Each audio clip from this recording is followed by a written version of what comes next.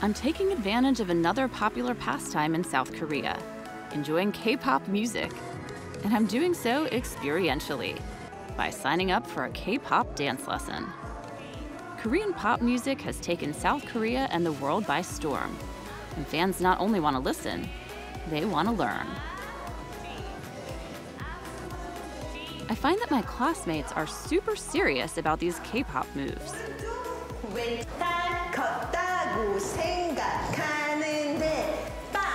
I brought my New York City A game to this class and decide to get serious too.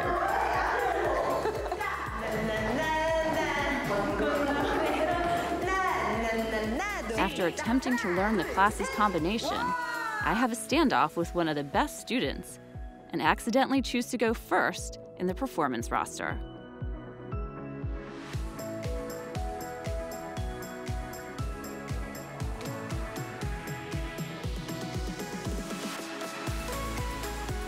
It may all be a bit lost in translation, but dance and music are universal.